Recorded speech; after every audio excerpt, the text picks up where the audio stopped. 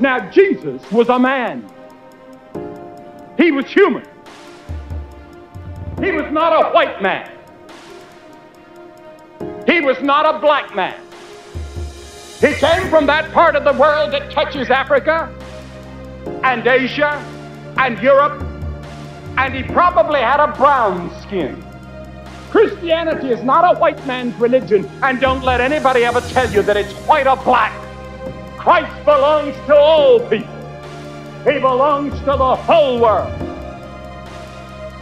His gospel is for everyone, whoever you are.